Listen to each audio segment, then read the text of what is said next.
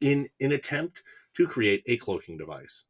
So American ships would stop getting blown up by German U boats. The US accidentally, or on purpose, depending on who you talk to, teleported a destroyer over 200 miles away and sent it back in time 10 minutes.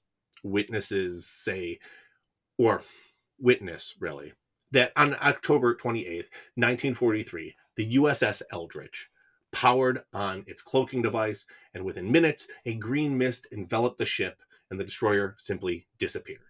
It then reappeared in Norfolk, Virginia, 10 minutes earlier in the day before returning back to the Philadelphia shipyard. When sailors boarded the USS Eldridge, after it returned, it was a sight of horrors. Some of its crew were fused into the walls, others were frozen in time. Sailors screamed in agony. Many were driven to madness. As time went on, it was suggested that these men had a loose tether on reality. They would slip in and out. Sometimes they simply disappeared. Now, like I said, there is really only one source ex merchant marine Carl Allen. Allen sent a series of letters to the author of the book, The Case for the UFO Unidentified Flying Objects, one Morris K. Jessup, explaining the events of that day. Later research into what happened uncovered a few issues.